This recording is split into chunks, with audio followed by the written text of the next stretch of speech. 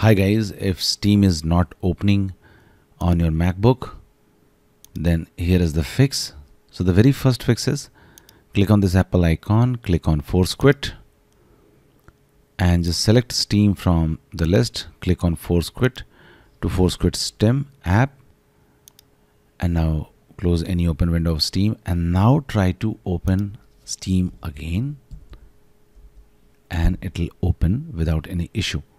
Now if this does not opens up then what you have to do you have to just go to this location in your MacBook.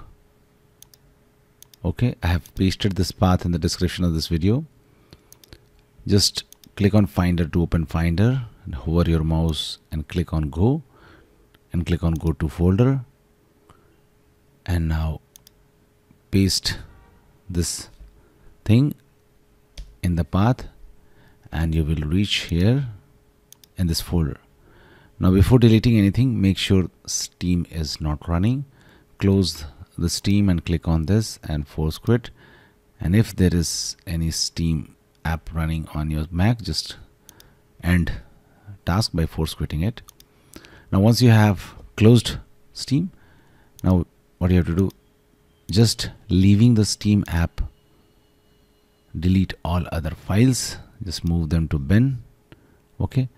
Now what you have to do you have to just re-download and reinstall steam. So first of all what you will do you will open finder click on applications and just move the steam to bin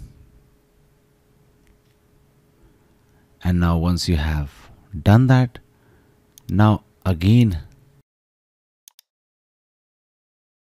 re-download and reinstall steam applications from left tab and drag and drop it here.